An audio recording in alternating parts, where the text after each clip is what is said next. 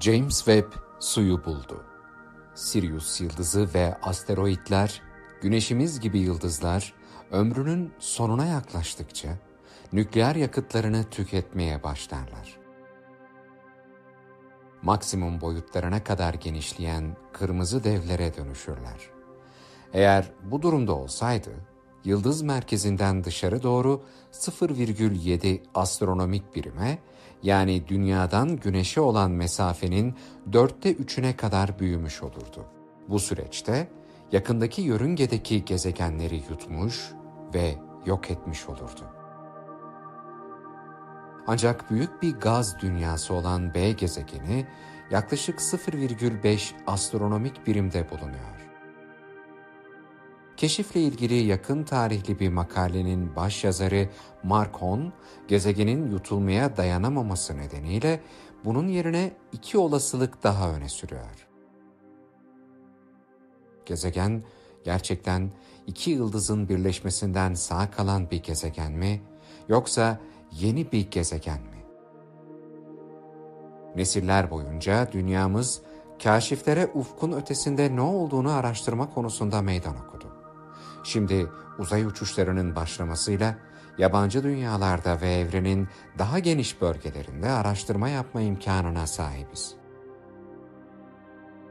Günümüzde güneşi, ayı ve gezegenleri gelişmiş makineler sayesinde çok net bir şekilde görebiliyoruz. Onlar bizim için güneş sistemi boyunca bir yol açıyor. Onların kameraları bizim cesur ve yeni bir maceraya açılan pencerelerimiz haline geliyor. Onların keşifleri bizlere harika evren manzaraları sunuyor. James Webb, ultra sıcak gaz devinin atmosferinde suyun izlerini haritalıyor ve buluyor. WASP-18b, Jüpiter'den 10 kat daha büyük bir gaz devi öte gezegen olup, yıldızının etrafında sadece 23 saatte tur atıyor. Araştırmacılar, yıldızının arkasında hareket eden gezegeni incelemek için NASA'nın James Webb Uzay Teleskobu'nu kullandı. Buradaki sıcaklıklar 5000 Fahrenheit dereceye ulaşıyor. Tabii bunlar akıl almaz sıcaklıklar. 400 ışık yılı uzaklıkta dışarıda ilgi çekici bir öte gezegen daha var. O kadar heyecan verici ki gökbilimciler 2009'daki keşfinden bu yana onu araştırıyorlar. WASP-18b için bir yıl yıldızının etrafında bir yörünge yalnızca 23 saat sürer. Güneş sistemimizde buna benzer bir şey yok.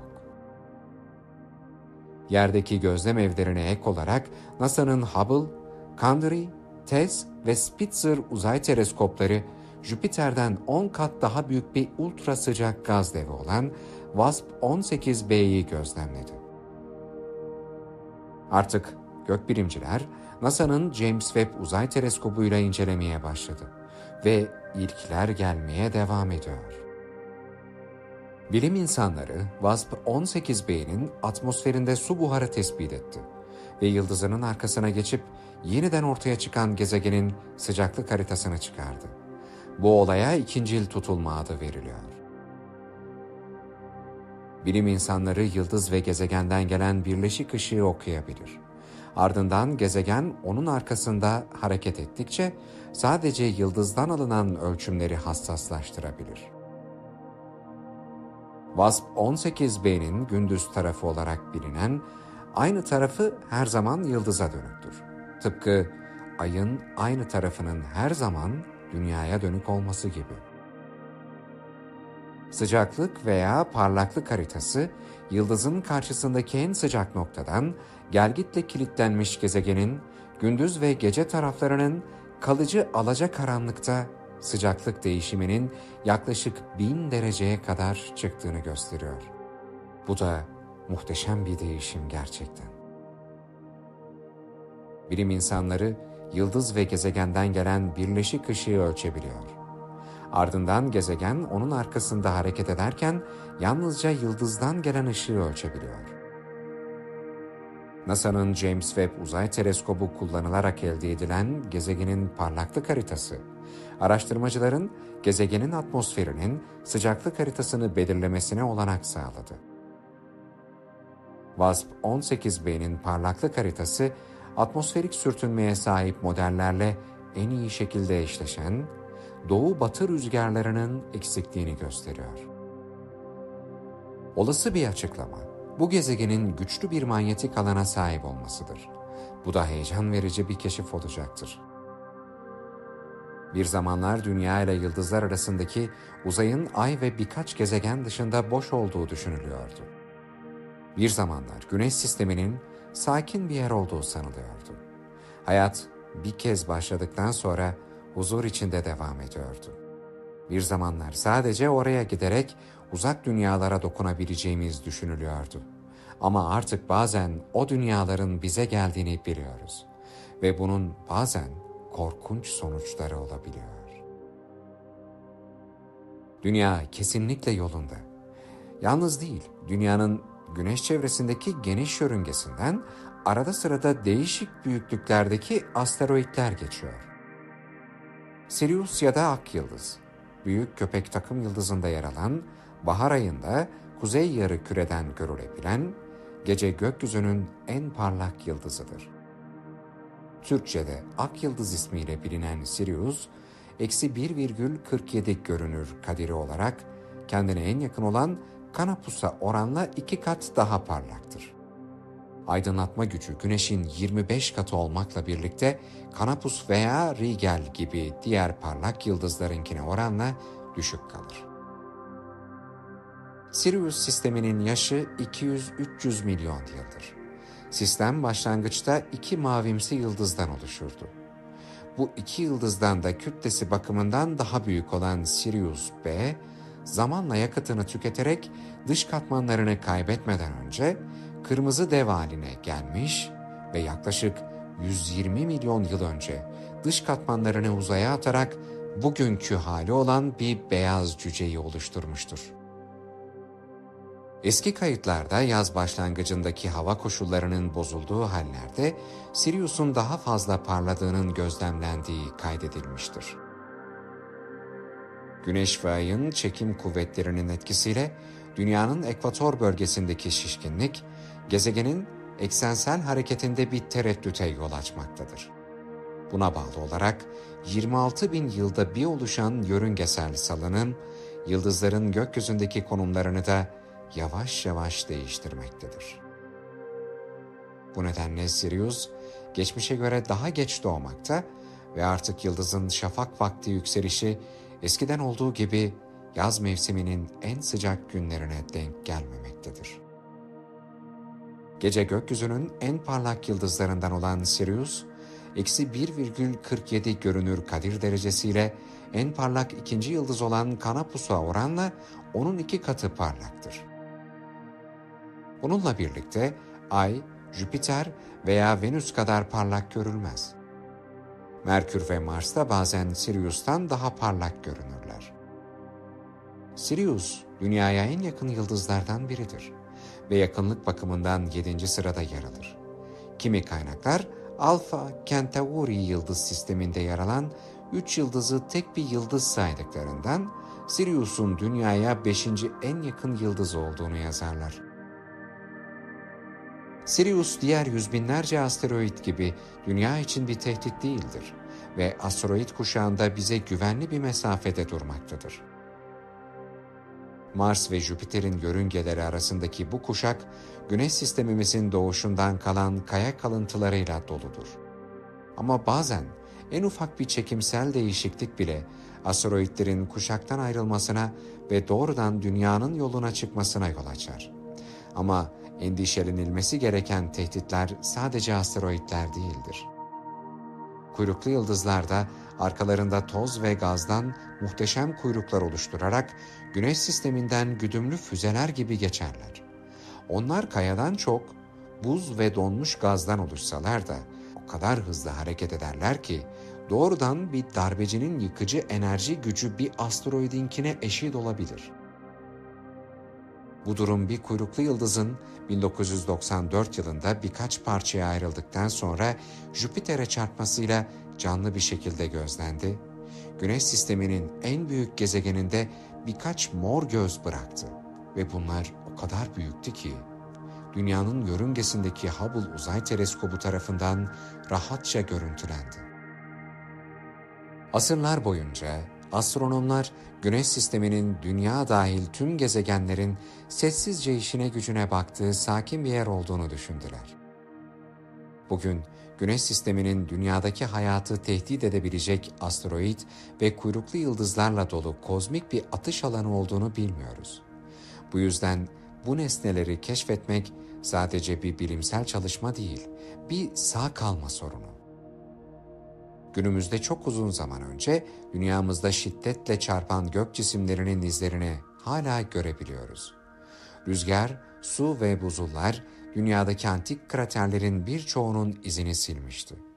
Ama ayda durum böyle değildir.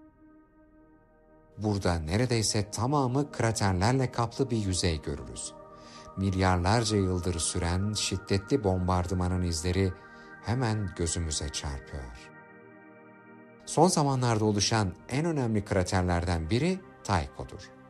100 milyon yıldan biraz daha uzun bir süre önce meydana geldiği tahmin edilmektedir. Bilim adamlarının tahminlerine göre o sıralar asteroid kuşağında meydana gelen bir çarpışma dünyamıza doğru bir miktar kaya kalıntısının gelmesine sebep olmuştur. Bilim adamlarının tahminlerine göre bunların bir kısmı aya çarpıp kraterler oluşturmuş, bir kısmı da dünyaya çarpıp dinozorlar çağının bitmesine sebep olmuştur. Asteroid kuşağı ilk gerçek bakışımız 1990'lı yıllarda oldu. NASA'nın Galileo uzay aracı Jüpiter'e doğru giderken yolda iki asteroidin yanından geçti. Birincisinin adı Gastra'ydı ve sadece 18 kilometre uzunluğundaydı. Bunun aksine Ida asteroidi ondan 3 kat daha büyüktü ve yanında bir de sürprizi vardı. Çevresinde bir uydu gibi dönen minyatür bir asteroid keşfettiler. Bu ilk bakışlar bir asteroidi ziyaret etme konusunda fikirlerin doğmasına sebep oldu. Eros 35 kilometre uzunluğundadır ve dünyaya yaklaşan en büyük asteroidlerden biridir. Dünya ile bir çarpışma rotası içinde olmamasına rağmen yakından incelemek için harika bir fırsat tanımaktadır. Günün birinde böyle bir asteroid gerçek bir tehlike oluşturabilir. Yüzeyinin her tarafında eşit yer çekim gücü olan bir gezegenin aksine Eros'un düzensiz şekli, çekim kuvvetinin noktadan noktaya farklılık gösterdiğinin kanıtıdır. Ayrıca hızlı şekilde döner ve uzayda yuvarlanır.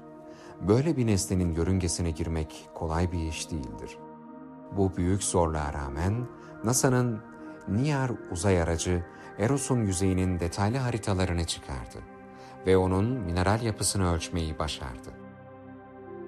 Eros'un kaya ve metallerle dolu olduğunu keşfetti. Yoğunluğu ise dünyanın kabuğuna benzer bir durumdaydı. Görev sonuna doğru yaklaşırken kontrolörler uzay aracını asteroide giderek daha çok yakınlaştırdı ve sonunda onu Eros'a çarptırmayı amaçladı. Şaşırtıcı bir şekilde uzay aracı inişten sağlam çıktı ve yüzeye doğru son alçalışı sırasındaki görüntüleri de dünyaya gönderdi. Bir uzay aracını bir asteroide ulaştırıp indirmek zor bir iştir. Ama aynısını bir kuyruklu yıldıza yapmak çok daha zordur. Kuyruklu yıldızlar güneş sisteminin dış bölgelerinde Oort bulutu denen bir yerde dolaşırlar. Buraya uzay araçlarının ve teleskopların ulaşması imkansızdır. Bir kuyruklu yıldız güneş sisteminin içine arada sırada girer. Ama onun buzlu yüzeyini ısıtır ve çok miktarda gaz ve toz bırakmasına sebep olur. 2004 yılında uzay aracı Vel 2 adlı kuyruklu yıldıza doğru eşsiz bir yolculuk gerçekleştirdi.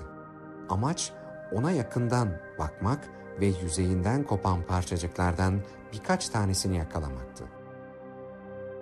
Bizlere güneş sisteminde gördüklerimizden çok daha farklı küçük bir dünyayı gösterdi. Üstünde kraterleri andıran daireselliği izler vardı. Yanlarındaysa dik uçurumlar bulunuyordu ve buralardan uzaya doğru gazlar fışkırıyordu. Aslında gidebilsek bizi buralarda harika bir manzara bekliyor olabilir. Stardust sonunda dünyaya döndü. İçinde kuyruklu yıldızın tozundan aldığı örnekler vardı. Toz parçacıklarından bazıları Güneş sisteminin kendisinden bile daha eskiydi. Durum buysa kuyruklu yıldızlar Güneş'i, gezegenleri ve dünyadaki tüm hayatı oluşturan antik nebulaya açılan doğrudan bir pencere olabilir. Bu arada DP görevi farklı bir yaklaşım izledi. Shapley bir kuyruklu yıldızına varmadan önce uzay aracı iki parçaya ayrıldı. Bir parça doğrudan kuyruklu yıldıza gitti. Çekirdeğine saplandı ve uzaya bir madde sağına salınmasına yol açtı. Diğer parça ise bu olaya tanıklık etmek ve ani patlama sırasında ortaya çıkan eşsiz malzemeyi analiz etmek için yanından uçtu. İnce tozlu bir pudranın içinde kalan buzlu iç malzemeler organik maddeler açısından zengindi. Bir zamanlar dünyadaki hayatın başlamasına da böyle bir madde sebep olmuş olabilir. Bu sonuçlarda bir gerçek vardır ki o da asteroidlere ve kuyruklu yıldızlara olan ilgimiz daha çok dünyadaki yaşam için bir tehdit oluşturmalarından kaynaklanmaktadır. Ama kuyruklu yıldızlar, asteroidler ve onların getirdiği organik maddeler olmasaydı dünya yüzündeki hayat acaba nasıl olurdu? Tıpkı gezegenler gibi kuyruklu yıldızlar ve asteroidler de eşsizdir. Bize evrendeki yerimiz hakkında bir şeyler öğretir. Bir atış alanında yaşamanın en güzel tarafı da budur. Dışarısı korkutucu olabilir ama asla sıkıcı değildir. Garip ve farklı şeyler arasındaki kaşifler için Güneş sistemimizde oldukça fazla malzeme vardır. Bize harika manzaralar sunan evren sonsuz bir çeşitliliğe sahiptir. Buz, metal, gaz ve kaya gibi basit malzemelerden oluşan gezegenler ve uydular doğanın laboratuvarları haline gelmişlerdir. Burada milyonlarca yıl önce çalışan fizik ve kimya güçleri inanılmaz karmaşıklıkta ve güzellikte eserler ortaya koymuştur. Bunlar hayal gücümüzü tetikler ve şunu merak etmemizi sağlar. Acaba şu ana kadar gördüklerimiz evrendeki sayısız güneş sisteminde yeniden gerçekleşmiş midir? Bir zamanlar astronomlar güneşin milyarlarca yıldız arasında sadece bir yıldız, dünyanın da sadece bir gezegen olduğunu fark etmişlerdi.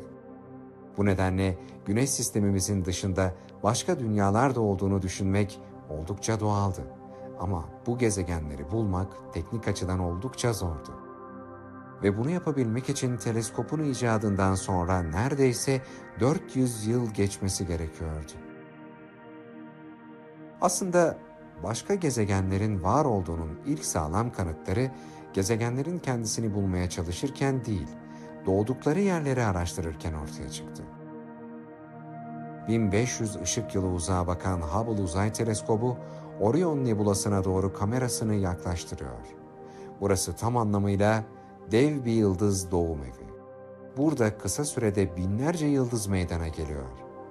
Yıldızların en parlak olanı 200 bin güneşten daha yoğun bir şekilde parlıyor.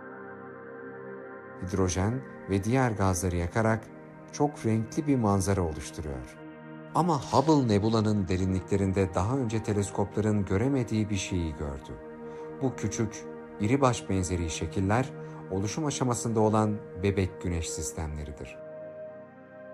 Bazıları çevrelerindeki nebulaya göre bir kat daha koyu görünür. Yani onlarda gaz kadar toz da vardır. Gezegenlerde büyük ihtimalle bu tozlu kozalar içerisinde oluşur.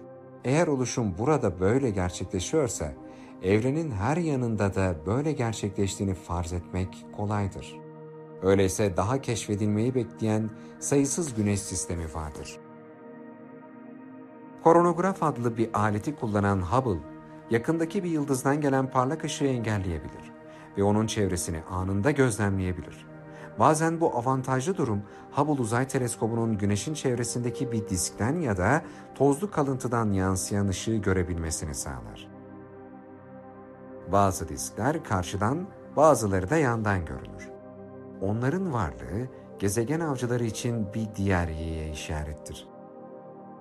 Çünkü içlerindeki toz genç yıldızların çevresindeki yörüngede olan kuyruklu yıldızların ve asteroitlerin çarpması sonucu oluşmuştur. Ve kuyrukta yıldızların oluştuğu yerlerde gezegenlerin de oluşması doğaldır. Artık evrende rastladığımız en sıra dışı gezegeni her zamankinden daha iyi incelememiz gerekiyor. Ve bu gezegen de evimiz dediğimiz yer, yani dünyamız. Bir sonraki bölümde evrende bir yerlerde görüşmek üzere.